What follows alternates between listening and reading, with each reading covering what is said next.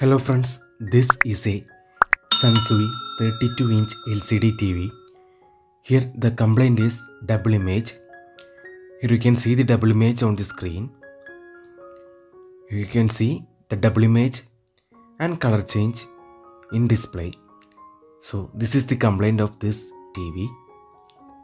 This complaint is mainly due to internal shorting inside the gate signals either from the right side or the left side of the panel glass panel. You can see double image and color change on the TV so now let's start repairing. You can see it's a 32 inch Sansui LED TV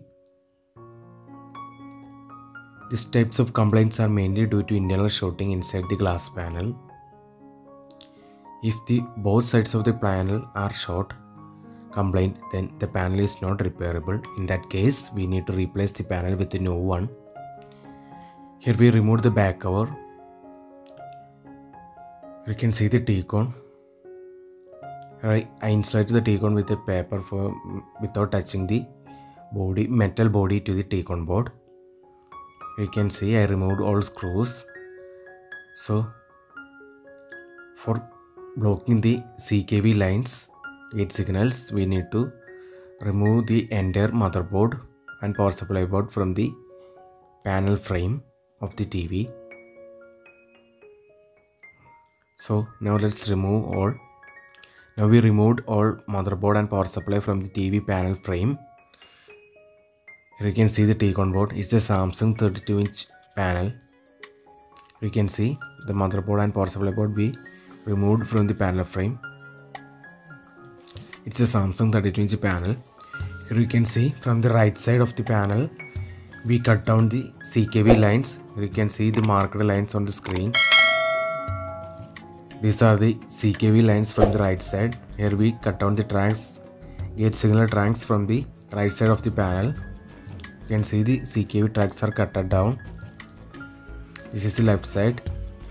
So first we need to try to cut from the right side. Here I tried to cut the gate signals from the right side.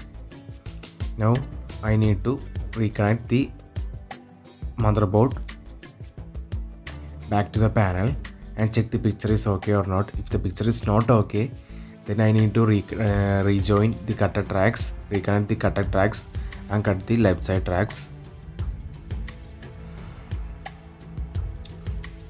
if the picture is not okay uh, with the first step we need to rejoin the cutter tracks in the right side. Then we need to cut the other side left side.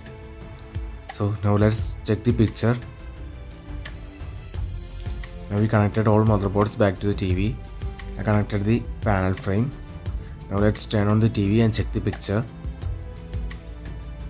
If both the sides are short then it's not repairable now we cutted the tracks from the right side and now TV is turned on. Here you can see the picture is okay.